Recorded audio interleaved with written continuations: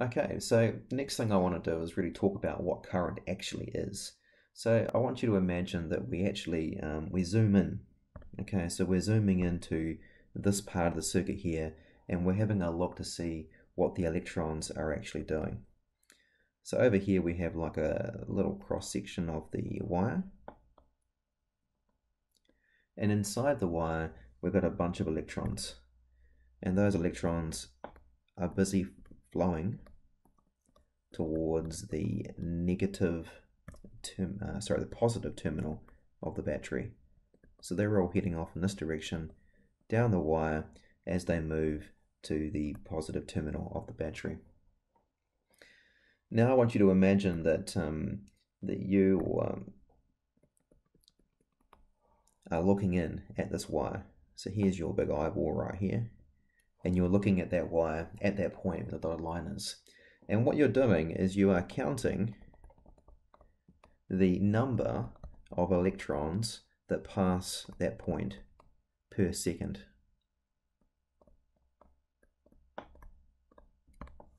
Now that is pretty much what current is. Okay, so current is the amount of charge passing a point per second, or the rate at which charge flows per second. So current is defined as I for current, the amount of charge per second.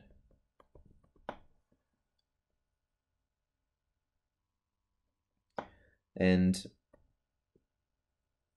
it doesn't matter whether it's positive charge or negative charge. So it could be the electrons, number of electrons per second, or it could be the um, number of positive charges per second.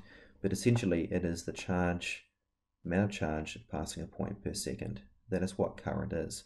Now, if we have a look at this, the units of current, well, we can derive those from the formula.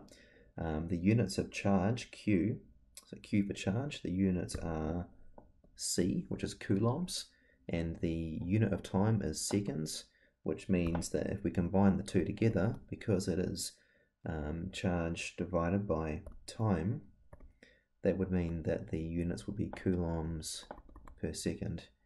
Now the easy way to memorize to to um, go about that is just to go with amps. So amps and coulombs per second are equivalent and you can use the units either way.